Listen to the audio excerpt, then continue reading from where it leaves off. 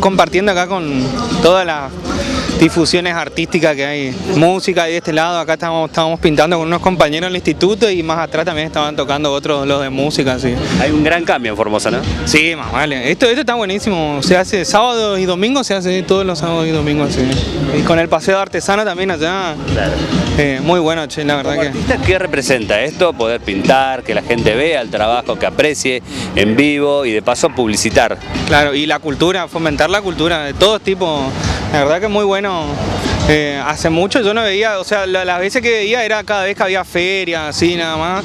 Y ahora es bastante constante y está, está bastante bueno. Es una buena posibilidad para mostrar lo que se hace, lo contemporáneo de acá.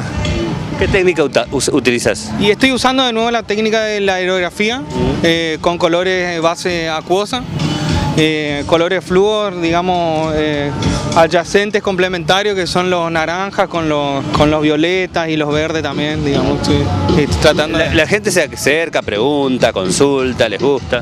Eh, Sí, más vale, si se acerca le da curiosidad porque no es algo que se suele ver, ¿no? Ahora por suerte estamos más allá de la música y las artesanías, esto también se está, se está viendo así. ¿Elegís cualquier temática o una en particular?